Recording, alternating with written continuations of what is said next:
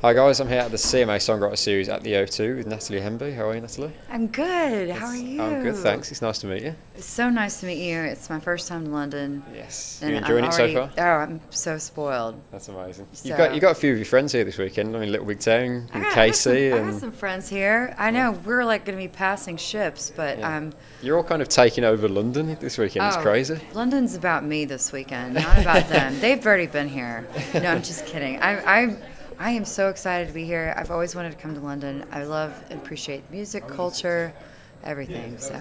Obviously, you're taking part in the CMA Songwriter Series tonight. So, where, where do you stand at the moment in terms of being a songwriter or an artist? Because obviously, you, you released a fantastic album last year, and Well, thank you so much for saying that. But uh, you know what? I'm I'm split 50-50.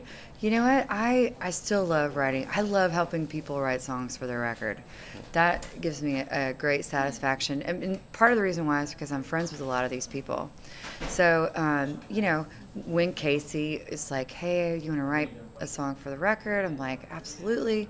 But you know what? A lot of it comes about very naturally too when you're friends with them, and that that is so helpful. And that's only that can only happen is, is if you live in Nashville. You know what I mean?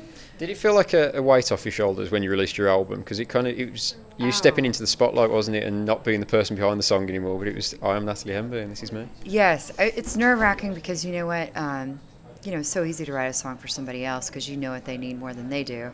But when it's your own songs, it's a little nerve wracking. But it came from a very honest place, and I, I, I literally was like, I'm just going to put this out, and if it might not get any response, and that's okay. It's, it's going to be what it is.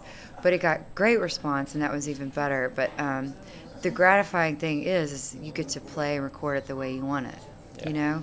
So that that and my husband he played all the instruments, played all the music for it, and sang all the backgrounds. And so it was like we literally kept it like in the family.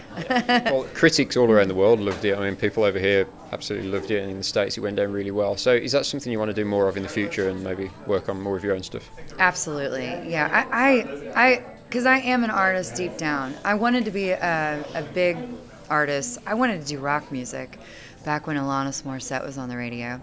But the dawning of the Britney Spears era came, and you know, reality TV changed a lot of things, and like rock radio kind of died off.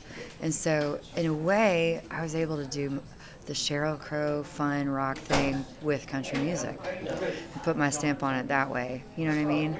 So. Over the years, you've been a part of so many country music classics for me. Like the songs you've written have been the soundtrack to my life over the last few Oh, years. That means so much to me. Um, so, is there? I was asking this to Nicole earlier. Is there? Is there a moment that really stands out for you, songwriting-wise, that you'll look back on for the rest of your life and say that was a magic moment? Um, I've had I've had a few. Um, I got to write with my hero. I do love Sheryl Crow. I he, I, her first three records, I listened to him so much that I almost like I almost had to stop listening to him because I, I was sounding too much like her. But excuse me. Anyways, uh, we wrote a song together for her. It was her country record that she's making, but it was a very heartfelt song. It was called "Stay at Home Mother," and we both were like crying while we were writing the song. And it just turned out to be a beautiful song that I was, and I got to write. They say don't meet your heroes, but sometimes it's really good to meet them. Um, she's a an amazing person, so I'm glad I met her. Do you write songs with specific artists in mind when you're teaming up with other songwriters? Absolutely. You know, um, I mean, Karen and I, we had the same sort of voice register from Little Big Town.